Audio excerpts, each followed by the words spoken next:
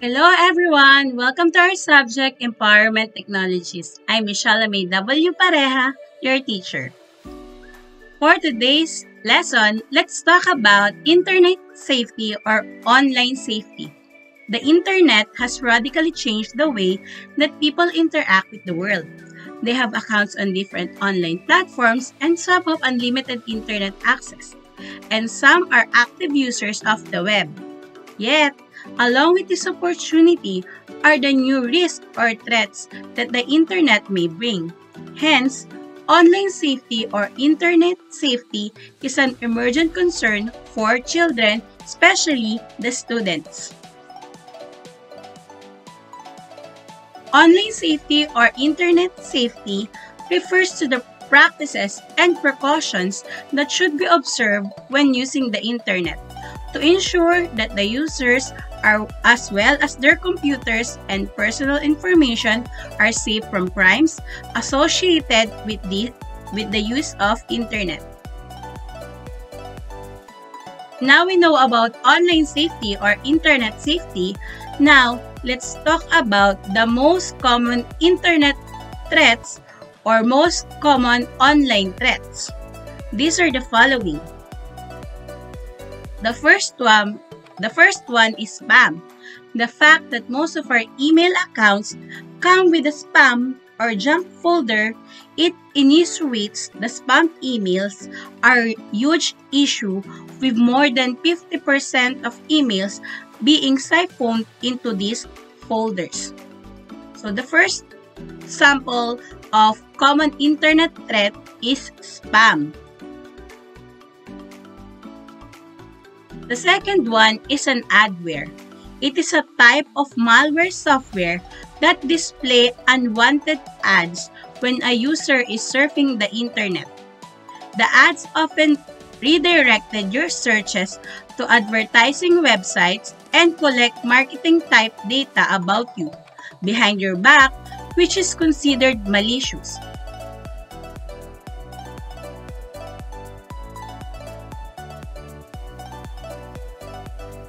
Third type is Trojans.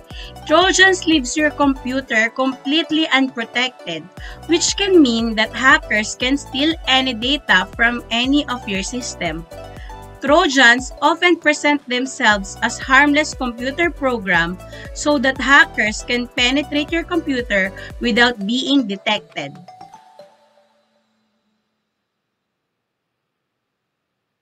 Virus. One of the most talked about internet threats is a virus. Viruses usually attach themselves covertly to downloads as they are designed to spread at alarming rate.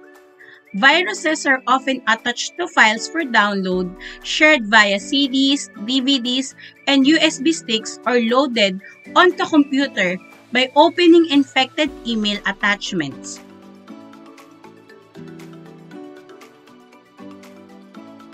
The next type is worms. Usually, worms make their way to the computer via malicious email attachment or USB stick. Once your computer has been infected by a worm, it will likely send itself to every email addresses logged in your system. To the receiver, your email will appear harmless until they open it and are infected by the same worm. Phishing. Phishing is a form of fraudulently activity. More often than not, official-looking emails are sent impersonating a well-known provider such as bank. These emails are sent to acquire people's passwords and credit card details.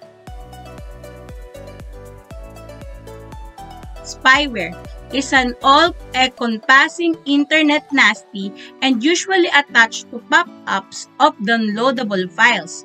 Once installed on your computer, spyware can monitor your keystrokes and read the and read and delete your files, reformat your hard drive, and access your applications.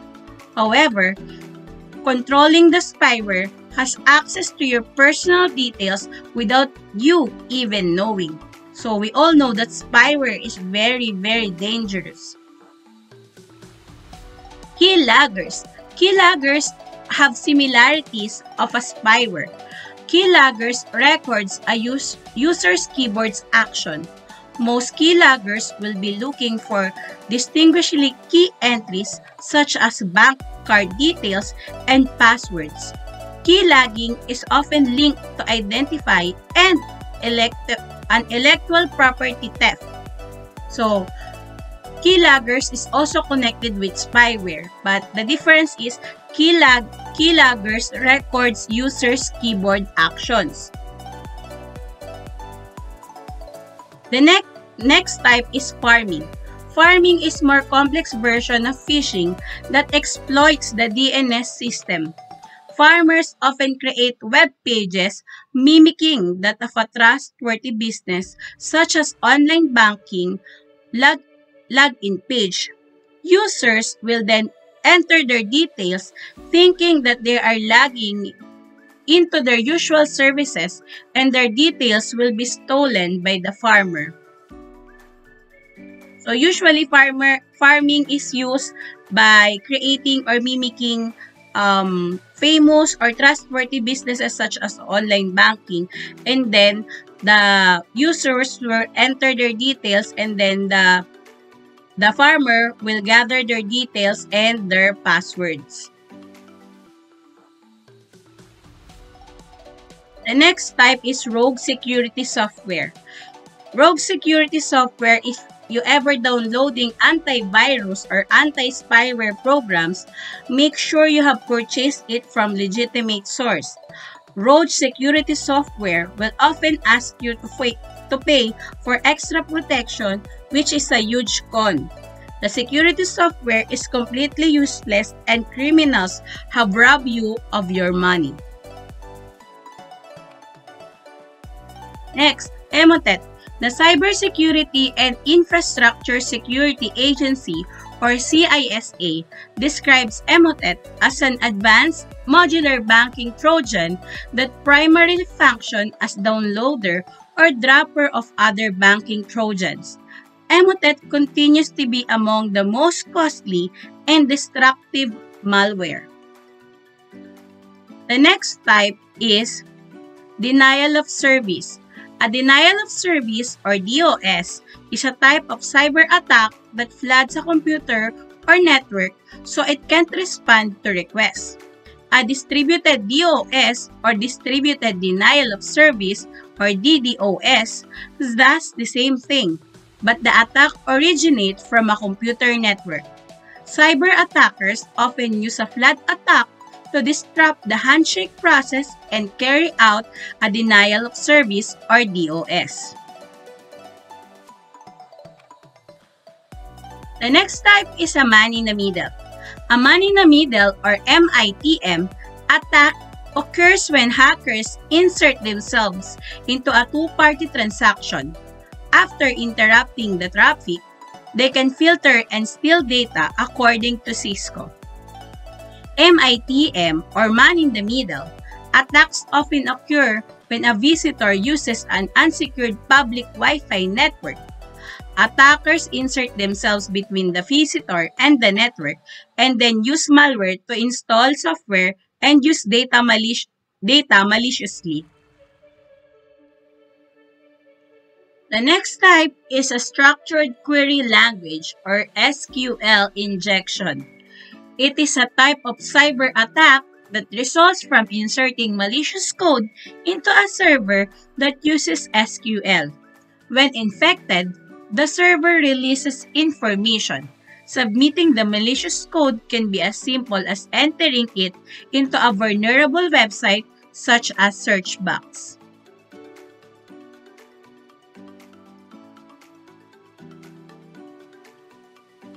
One of the most popular one is password attack. With the right password, a cyber attacker has an access to a wealth of information. Social engineering is a type of password attack that Data Insider defined as strategy cyber attackers use that relies heavily on human interaction and often involves tricking people into breaking standard security practices. Other types of password attacks includes accessing a password database or outright guessing.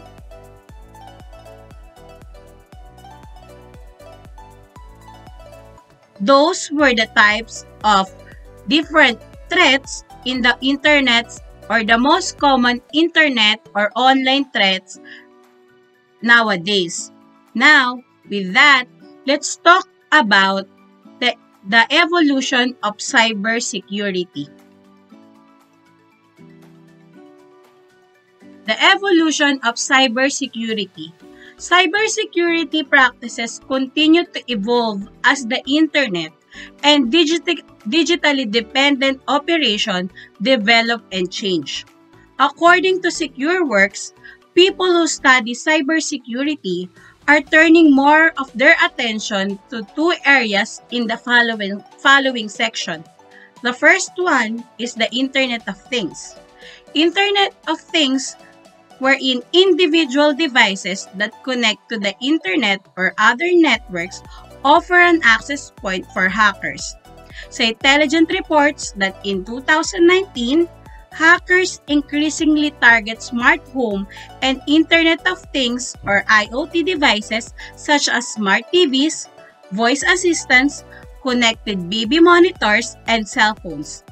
Hackers who successfully compromise a connected home not only gain access to users' Wi-Fi credentials but may also gain access to their data such as medical records, bank statements, and website login information. The next section is the explosion of data. Data storage on devices such as laptops and cell phones makes it easier for cyber attackers to find an entry point into a network through personal device. For example, in May 2019, Book Exploding Data, Reclaiming Our Cybersecurity in the Digital Age, former U.S. Secretary of Homeland Security Michael Chertoff warns of a perceived exposure of individuals' personal information which has become increasingly vulnerable to cyber attacks.